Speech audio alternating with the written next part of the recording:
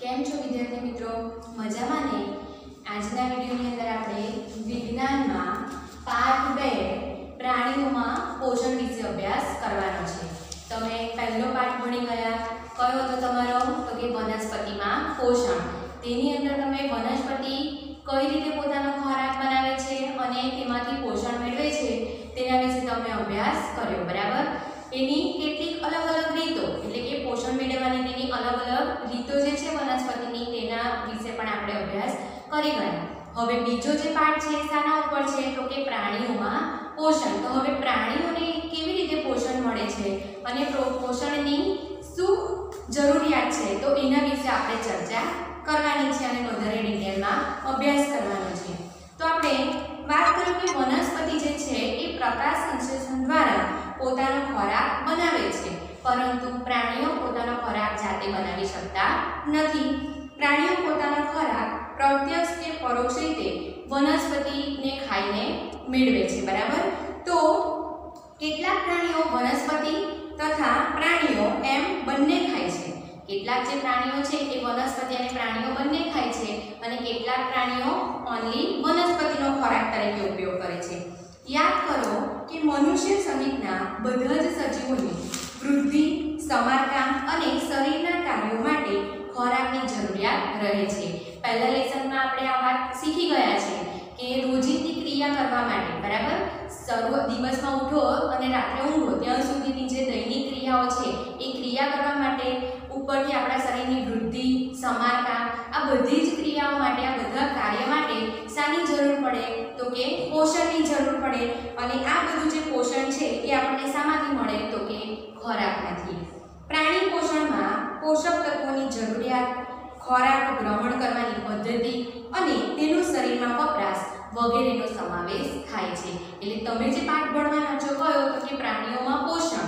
તો એની અંદર પોષક તત્વોની જરૂરિયાત. પહેલો ટોપિક શું છે? તો કે આપણે જે પોષણ મેળવીએ છીએ એ પોષણની અંદરથી કેટલાક પોષક તત્વો આપણને મળતા હોય છે તો એ પોષક તત્વોની આપણા શરીરમાં શું જરૂર છે એના વિશે વાત કરવાની છે આગળ જોઈએ તો ખોરાક ગ્રહણ કરવાની પદ્ધતિ એટલે કે દરેક પ્રાણીની ખોરાક પર ગ્રહણ કરવાની એટલે કે ખોરાક લેવાની પદ્ધતિ કેવી હોય છે જુદી જુદી તો એના વિશે અભ્યાસ કરવાનો છે અને તેનો શરીરમાં વપરાશ. એટલે આપણે જે ખોરાક લઈએ છીએ, એ ખોરાક શરીરમાં જાય છે અને ત્યારબાદ શરીરમાં એનો વપરાશ કઈ રીતે થાય છે અને એની શું પ્રોસેસ થાય છે આગળ, એના વિશે આપણે અભ્યાસ કરવાનો છે.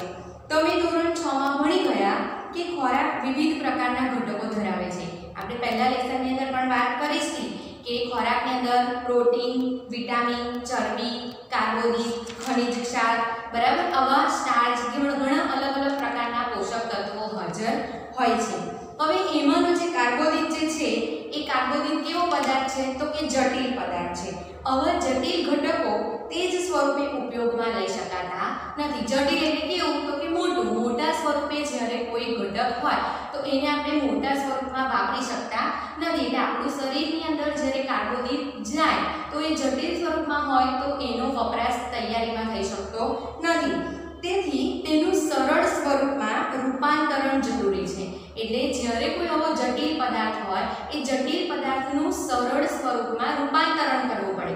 સરળ સ્વરૂપમાં રૂપાંતરણ એટલે શું? તો કે એને મોટા સ્વરૂપમાંથી નાના નાના વિભાગોમાં વહેંચવું પડે. તો આ જે જટિલ ઘટકો છે, એ જટિલ ઘટકોનું સરળ સ્વરૂપમાં રૂપાંતરણની જે પ્રક્રિયા છે, તેને પાચન કહેવામાં આવે છે. ડાયજેસ્ટ જેને આપણે અંગ્રેજીમાં કહી શકીએ. ફરીથી સમજો. કે આપણે જે ખોરાક લઈએ છીએ એ ખોરાકની અંદરના જે ઘટકો છે એ ઘટકો કેટલાક જટિલ સ્વરૂપમાં હોય છે. અને એ જટિલ સ્વરૂપમાં એ આપણા શરીરમાં ઉપયોગમાં લેવાતા નથી. તો પછી એને નાના સ્વરૂપમાં, બરાબર? એટલે કે સરળ સ્વરૂપમાં ફેરવવા જરૂરી છે. તો જ્યારે આ ઘટકોને એટલે કે જટિલ ઘટકોનું સરળ સ્વરૂપમાં રૂપાંતરણની પ્રક્રિયા જે થાય, એ પ્રક્રિયાને આપણે શાના તરીકે ઓળખીશું, તો કે પાચન તરીકે. ઓળખીશું. હવે પાચનને તો તમે બધા જાણો જ છો. આગળ આપણે વાત કરીએ તો ખોરાક મેળવવાની જુદી જુદી પદ્ધતિઓ. જુદા જુદા પ્રાણીઓમાં ખોરાક ગ્રહણ કરવાની જુદી જુદી રીતો હોય છે. મધમાખી અને હમિંગબર્ડ વનસ્પતિમાંથી રસ ચૂસે છે.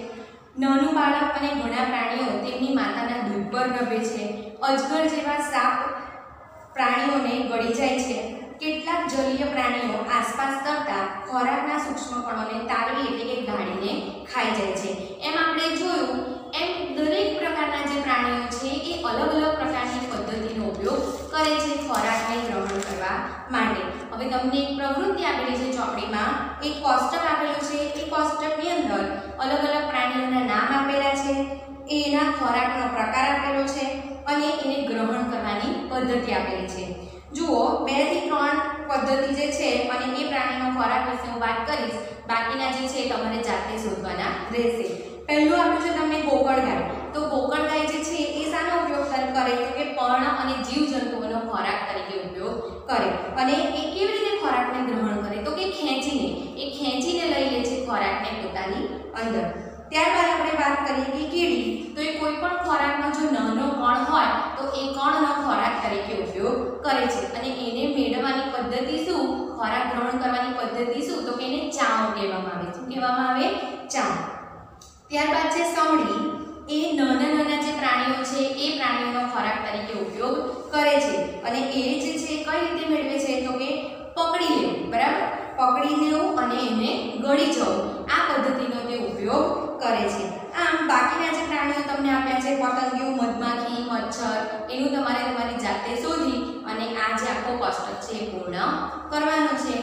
આગળ આપણે વાત કરીએ તો હવે સ્ટાર્ટ થાય છે તમારો ખરેખરનો પાઠ કે પ્રાણીઓમાં પોષણની અંદર તમારે સૌથી વધારે ડિટેલમાં મનુષ્યના પાચન વિશે શીખવાનું છે. શાના વિશે શીખવાનું છે? મનુષ્યમાં પાચન. તો આપણે ખોરાક મોં દ્વારા ગ્રહણ કરીએ છીએ, પાચન અને તેનો વપરાશ કરીએ છીએ. આપણે જે ખોરાક લઈએ છીએ, શાના દ્વારા ગ્રહણ થાય છે તો કે મોં દ્વારા, બરાબર? અને ત્યારબાદ એનો શરીરમાં જઈને વપરાશ થાય છે. અપાચિત ખોરાક મળમાં રૂપાંતરિત થાય છે. એટલે કે જે પચેલો ખોરાક ન હોય, એ સામા રૂપાંતર પામે છે?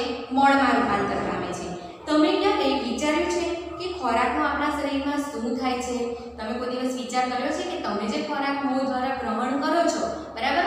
અને ન પચેલો ખોરાક જે હોય છે, એ મળ સ્વરૂપે સંગ્રહિત થાય છે. પણ જે બાકીનો ખોરાક જે પચી જાય છે શરીરમાં, એનું શરીરમાં શું થાય છે? તો એનો કદાચ તમને ખ્યાલ નહીં હોય. અને સરસ ડિટેલમાં તમને હવે જાણવા મળશે.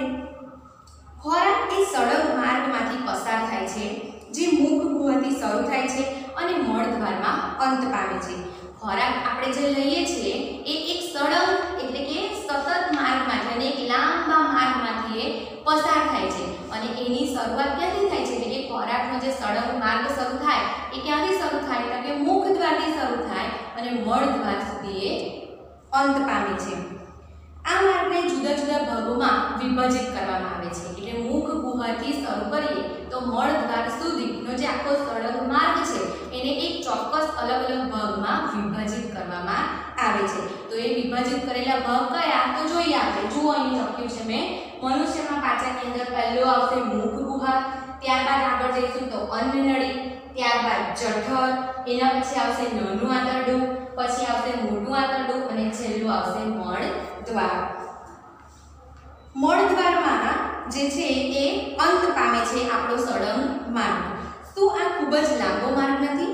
આ બધા જ ભાગો ભેગા મળીને પાચન નળી એટલે કે પાચન માર્ગની રચના કરે છે ખોરાક જુદા જુદા ભાગોમાંથી પસાર થાય છે ત્યારે તેનું પાચન થતું રહે છે જઠર અને નાના આંતરડાની અંદરની દીવાલ અને વિવિધ ગ્રંથિઓ જેવી કે લાળ ગ્રંથિ, યકૃત અને સ્વાદુપિંડ વિવિધ પાચક રસોનો સ્ત્રાવ કરે છે. એટલે કે જ્યારે ખોરાક આ માર્ગમાંથી પસાર થાય છે, ત્યારે અલગ અલગ ભાગમાં તેનું અલગ અલગ રીતે પાચન થાય છે અને અલગ અલગ ગ્રંથિઓ અલગ અલગ અંતઃસ્ત્રાવો દ્વારા તેના પાચનમાં મદદ કરે છે.